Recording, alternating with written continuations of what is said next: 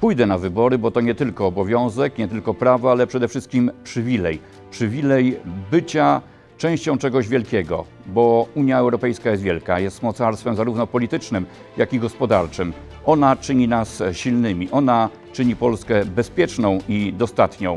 Czegoś takiego w historii Polski jeszcze nie przerabialiśmy i niech to trwa jak najdłużej. Czy pójdziesz na wybory? Czy możesz nagrać podobny film? Zrób to, wyślij do nas, a ukaże się on na naszych fanpage'ach.